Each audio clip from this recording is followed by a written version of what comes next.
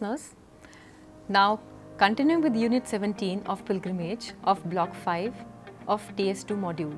Now we are discussing about the major religions which are born on Indian soil that which is Hinduism, Jainism, Buddhism and Sikhism. We are going to talk about these religions in detail. What are the major pilgrimage centers or the tourist spots related with these religions and what is the importance held by the devotees for these religions. As I said, the different religions which are born on Indian subcontinent are Hinduism, Jainism, Buddhism, Sikhism. We are going to take each one of them in detail now, the first one being Hinduism. Hinduism has a strong and ancient tradition of pilgrimage encased in the Sanskrit expression known as Tirath Yatra, which literally means undertaking journey to river forts or involving holy baths in water bodies as a symbolic purification ritual. The number of Hindu sanctuaries in India is so large and the practice of pilgrimage is so pervasive that the whole of India can be regarded as a vast sacred space organized. Hinduism is considered by many to be the world's oldest surviving religions, which dates back to approximately 5000 BCE. It is also the third largest religion in the world after Christianity and Islam and consists of approximately 13% of the world's population. The majority of the Hinduism, the majority of the people who believe in Hinduism live in India, Nepal, Mauritius, on the islands of Bali of Indonesia, as well as secondary or otherwise major religions of Guyana, Fiji, Suriname, Bhutan, Trinidad and Tobago, Sri Lanka, Bangladesh and also Singapore. Millions of Hindus make an annual pilgrimage to these sacred places which includes rivers and mountains associated with Hindu mythology, scriptures and events. The rivers from time immemorial have been the symbol of purity to humans. Among them, the Ganges River is the most sacred and innumerable holy shrines such as Gomukh, Gangotri, Devprayag, Rishikesh, Haridwar, Garhmukteshwar, Kannauj, Allahabad, Varanasi, Patna and Ganga Sagar have come up on the banks through the ages. The city of Allahabad is especially significant because it is where the two sacred rivers, the Ganges and Yamuna are said to merge with the mythical river Saraswati. The Kumbh Mela, which takes place every 12 years at Allahabad, is considered the largest religious gathering in the world. It has its origin in Hindu mythology and its first written occurrence dates back to 7th century AD. During this period, the banks of the Ganges and the Yamuna turn into a large bathing center. The 12 Jyotirlingas, 5 Bhutalingas and many other temples enshrining the lingas in the sanctorum are the ideal terminal destinations of domestic tourists since the time of great epics. The Jyotirlingas are at Kedarnath in Uttaranchal, Kashi, Vishwanath in Uttar Pradesh, Somnath in Gujarat, Baijnath in Karnataka, Rameshwar in Tamil Nadu Bhim Shankar in Maharashtra, Mahakaleshwar in Madhya Pradesh, Mallikarjuna in Andhra Pradesh, Omkareshwar in Madhya Pradesh, Nageshwar in Gujarat and Trimbakeshwar in Maharashtra. In addition Shakti ji is also worshipped as the divine mother a creative power both as an enforcing discipline and for securing righteousness. There are nearly 51 Shakti peeths all over the country and these peeths are visited by tourists throughout the year. Mm-hmm. Let's talk about another very popular and old religion which is Jainism. Jainism is one of the oldest religious traditions of the world whose origin can be traced back to the 24 teachers or the Tirthankars or other way called Acharyas saints or scholars, though through whom their faith is believed to have been handed down. Jainism takes the path of self-reliance, self-discipline and self-purification to realize the inherent potentialities of the human self. The term Jaina is derived from the word Jina and is the common name for the Supreme Soul, who are totally free from all feelings of attachment and aversions. It is a common name given to the 24 teachers or Tirthankars because they are the ones who have conquered all passions and have attained liberation. The first of these teachers was Rishabdeva and the last one was Vardhamana who was also popularly known as Mahavir. He is said to have lived in the 6th century BC as a contemporary of Gautam Buddha. The 23rd Tirthankar, the immediate predecessor of Mahavira, was Paravnath and he preached the doctrine of love and ahimsa. He enjoined four vows which are not to destroy life, ahimsa, not to lie, which is satya, not to steal, which is asteya, and not to own property which is aparigraha. His great successor Mahavira added the fifth vow of chastity which is brahmacharya. Jainism is an ancient religious tradition from India. For its practitioners, Jainism is eternal or at least older than Hinduism. But many historical estimates will place in contemporary with Buddhism as a classical offshoot of old Vedic tradition.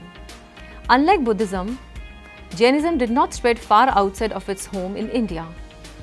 Today, the vast majority of the world's 4 to 5 million Jains live in India. Jainism lays heavy emphasis on non-violence and the believers of this religion, whether a monk or a householder, follow a very strict and well-disciplined life. The idea and practice of mass pilgrimage is one of the important features common to all Jains and is held to celebrate sacred anniversaries of the Tirthankars. The act of pilgrimage is also deeply mounted in Jainism. Jain pilgrims hence are visited frequently in India which are Delwara temples situated in Rajasthan. These temples are located around Mount Abu which is a famous hill station of Rajasthan. The renowned marble temples of Delwara are one of the most sacred pilgrimage places of the Jains and dates back to the 11th to 13th century and are very popular for their opulent entranceway. Another popular temples are Palitana temples situated in Gujarat, are believed to be the most sacred of all the Jain temples and are located on Shatrunjaya hills comprising of 863 temples which are elegantly graved in marble. Temples at Ranakpur in Rajasthan is again one of the five most important pilgrimage sites for Jains. It is the most extensive of Jain temples in India, covering 40,000 square feet. The temple can be called a treasure house of pillars with number nearing to 1444 pillars. These pillars are arranged in such a manner that none of them obstructs the view of the pilgrim who is wishing to have a darshan or a glimpse of the devotee. View of the pilgrim wishing to have a darshan or a glimpse of the god. From any corner of the temple, one can easily view the Lord's image. The temple at Shravanbelagola in Karnataka is a great center for Jain culture, situated at a distance of about 100 km from Mysore. Shravanbelagola is famous for its cultural statue of Gomateshwara, who is also popularly known as Lord Bahubali. The statue is carved out of a monolithic stone and is 17 meters high and can be seen from a distance of over 20 kilometers. The other popular religion we are going to talk about is Buddhism. For Buddhists, pilgrimage is an important means to accrue merit, secure a favorable rebirth and advance towards the release from rebirth and pilgrimage is a major means for this. First focused on sites associated with Buddha Shakyamuni, Buddhist pilgrimages are natural sites and places which are associated with powerful deities or holy persons and their representations gained popularity as new forms of Buddhism emerged over time. Buddhism was founded in the 4th or 5th BC in northern India by a man known traditionally as Siddhartha. Gautam, the son of a warrior prince, some scholars believed that he lived from 563 to 483 BC, though his exact lifespan is uncertain. Troubled by the inevitability of suffering in human life, he left home, renunciated the world, and pampered life at the age of 29 to wander as an ascetic, seeking religious insight and a solution to the struggles of human existence. He passed through many trials and practiced extreme self denial.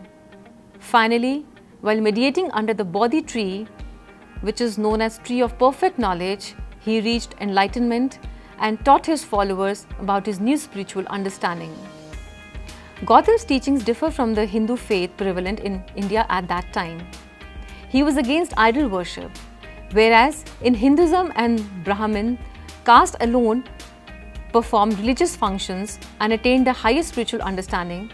Gautam's beliefs were more egalitarian and accessible to all who wished to be enlightened. At the core of his understanding were the Four Noble Truths. The first one being, all living beings suffer.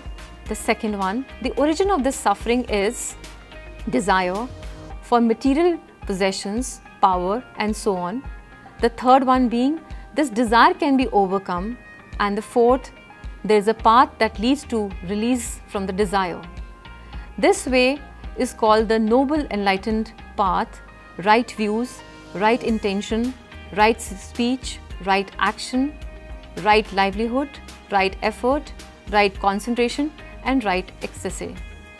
Gautama promoted the content of Atman, that is, a person has an actual self, and the idea that existence is characterized impermanence. This realization helped one let go of desire for transient things. Still, Gautama did not recommend extreme self-denial but rather a disciplined life for all the followers. Like the Hindus, he also believed that existence consisted of reincarnation, a cycle of birth and death. He held that it could be broken only by making complete detachment from worldly wide affairs. Then the soul could be released into nirvana. Gautama traveled to preach the Dharma, which is a sacred truth and was recognized as the Buddha enlightened one. After his death, his followers continued to develop doctrine and practices taught by him and adopted three jewels the Dharma, the sacred teachings of Buddhism, the Sangha, that is the community of followers, which now includes nuns and monks, and the Buddha himself. Under the patronage of Mauryan Emperor Ashoka, in the 3rd century BC, Buddhism spread throughout the India and to other parts of Asia. During this time, monasteries were established as well as temples dedicated to Buddha were made and that the relics were venerated all over. Though by the 4th century AD, Buddhist presence in India had dwindled, it flourished in other parts of Asia. There are numerous Buddhist sects which emerged, the oldest called the Theravada or it is also known as the Hinayana phase of Buddhism. This sect of Buddhism emphasized meditation and ritual practices that help the individual become an enlightened being. This sect is prevalent in Southeast Asia and Sri Lanka. Between the 2nd century BC and the 2nd century AD, the Mahayana tradition of Buddhism had spread. This form of Buddhism concentrated less on individual attainment of enlightenment and more on concern for humanity. It promotes the ideal of the Bodhisattva, the enlightened one, or the enlightened beings who shuns entering nirvana until all sentient beings can also do well, or willingly remaining in the painful cycle of birth and death to perform works for others. Numerous sects have developed from the Mahayana tradition which has been influential in China, Korea and Japan. The third broad tradition variously called Vajrayana or Tantric Buddhism is very very popular. It offers a quicker and more demanding way to achieve nirvana. Because of its level of challenge, enabling one to reach enlightenment in one's lifetime, it requires the guidance of a spiritual leader. It is the most prominent form of Buddhism followed in Tibet and Mongolia. IRCTC has given much needed boost to the Buddhist circuit, providing a holistic product that addresses transport, sightseeing, and accommodation requirements. Apart from this, airports have also been made operational to Bodh Gaya, thereby facilitating direct movement of tourists from Southeast Asian countries, which is a major part of the clientele. Pilgrimage is equally significant in Buddhism. Many Buddhists believe that pilgrimage will provide them with a shortcut to nirvana or enlightenment. The popular cities or the sites which are related to Buddhism are Lumbini, which is in Nepal and is the birthplace of Lord Buddha. The second one being Bodh Gaya, which is in India, where he achieved Bodhi or enlightenment. The Deer Park at Sarnath near Banaras, where Lord Buddha has, is said to have turned the wheel of the law and practiced his first sermon. The other destination is Kushinagar in Uttar Pradesh, where he passed into the state of Nirvana. Sanchi at Gwalior, the stupa is connected with the Buddha's main disciples. And other than these, there are many other different denominations belonging to the several countries have built monasteries all over in South Asia. All these sites attract thousands of Buddhist pilgrims not only from India but also from Thailand, Korea, Japan, Sri Lanka and China. The next religion born on India's soil is Sikhism. Sikhism is one of the youngest religions of India and the fifth largest faith in the world. It was founded in the 15th century by Guru Nanak Dev. He was born in 1469 in the state of Punjab, in India.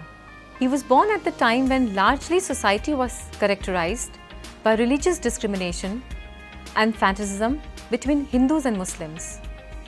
Guru Nanak questioned the existing religious conventions, rituals, practices and preached a philosophy of monotheism which emphasized the equality of all religions, castes, ethnicities and nationalities. He describes the Absolute as the one ultimate reality, the Creator whose name is Truth and who is infinite, timeless, formless and genderless. His followers were known as Sikhs, which mean learners or disciples. He accepted the Hindu concept of life as a cycle of birth, death and rebirth, moksha, from which the cycle into unity with God could be achieved only with the help of a guru or spiritual teacher.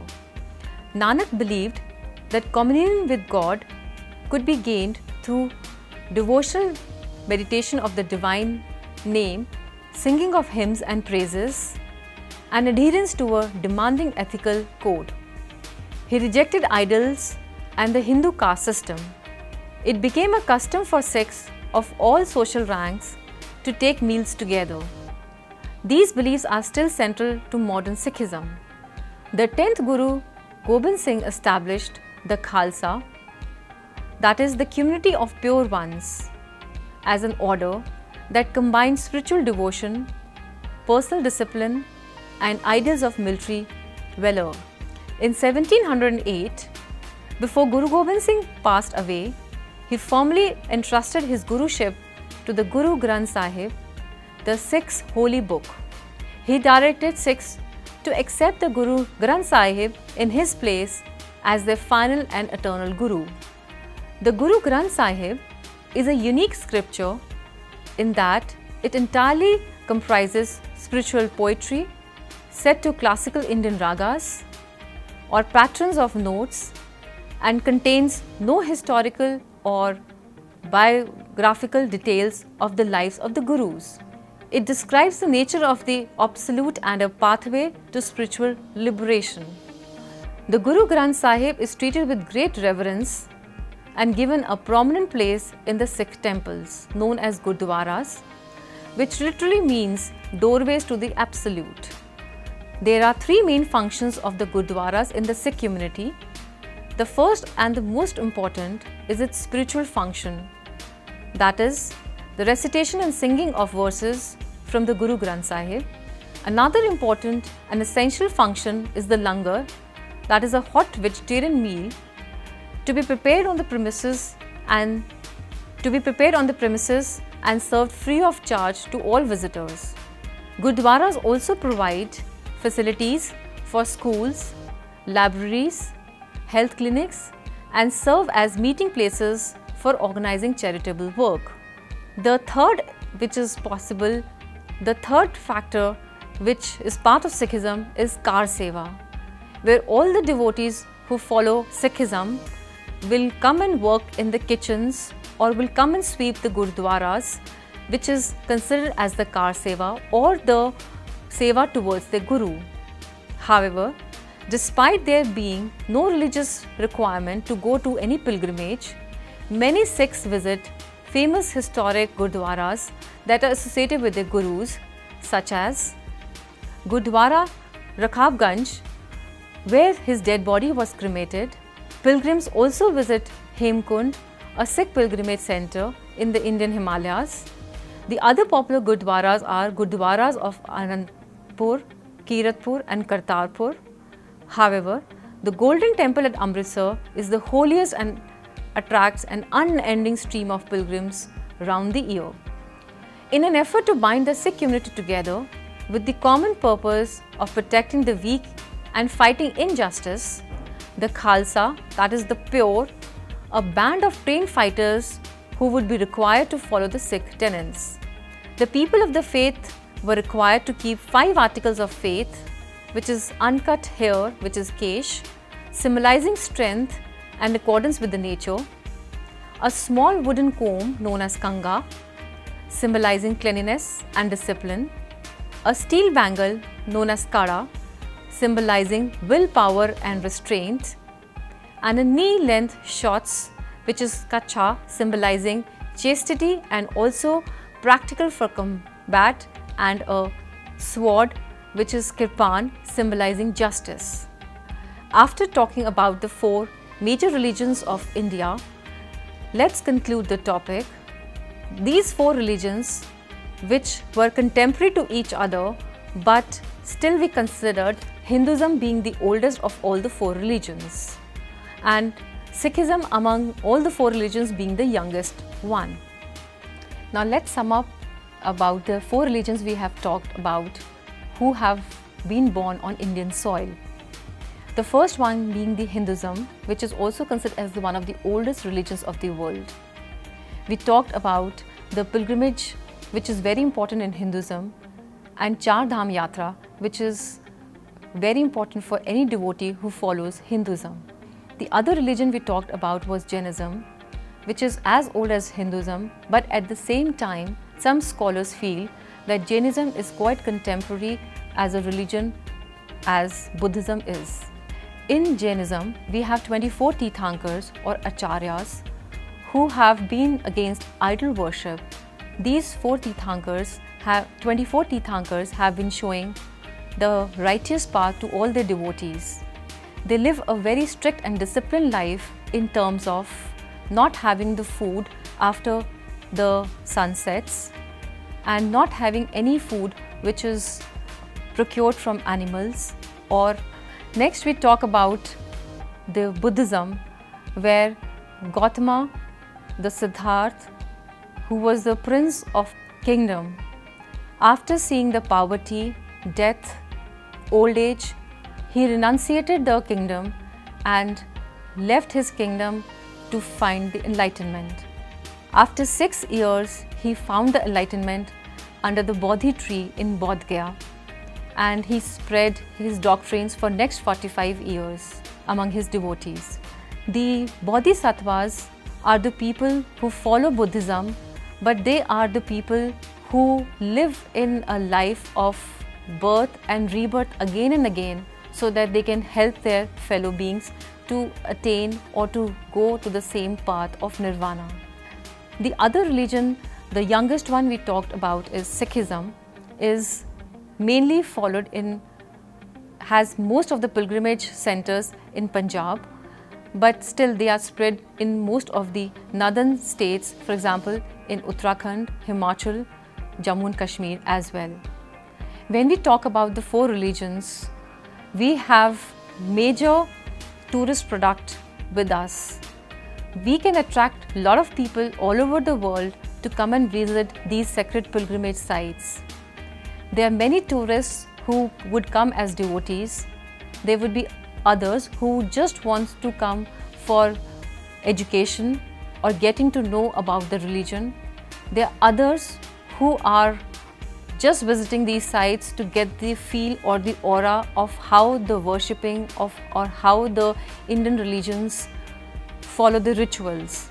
It is utmost important for the management and the government of India to market these destinations among the probable tourists all over the world in such a way that we can attract lots of tourists to these destinations and we can promote these destinations, we can promote these sacred sites and we can get or we can earn revenue for these sites where we can preserve and conserve them for future generations. Thank you.